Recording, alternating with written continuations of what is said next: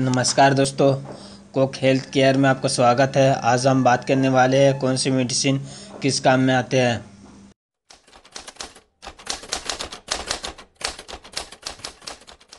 दोस्तों, आज हम लोग बात करने वाले हैं अट्रिन कैप्सूल।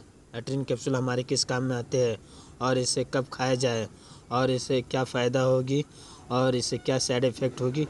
और इसके क्या कंपोजिशन है, ये सब मैं आपको पूरी वीडियो में जानकारी दूँगा। रेड कलर की कैप्सूल ये कैप्सूल एट्रिन कैप्सूल है। यह मेडिसिन हम लोग उस समय खाते हैं, जिस समय हम लोग को खून की कमी हो विटामिन बी ट्वेल्व की कमी हो, गर्भावस्था के दौरान वज़न की कमी हो बार बार मुँह में छाला आना तो उस समय हम लोग अट्रिन कैप्सूल खा सकते हैं।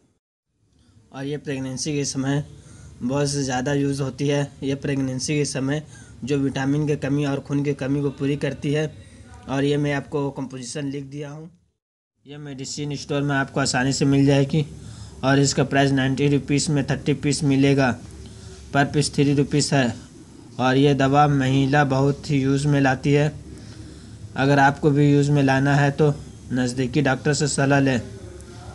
यह प्रेगनेंसी के लिए बहुत ही अच्छी मेडिसिन है। क्योंकि प्रेगनेंसी के समय जो बॉडी के कमी को दूर करती है और ये मेडिसिन खाने से पहले कुछ खा ले, उसके बाद आप इसे खाएँ और बच्चे से दूर रखें। और अधिक जानकारी के लिए नीचे दिए गए कमेंट बॉक्स में लिखें। थैंक्स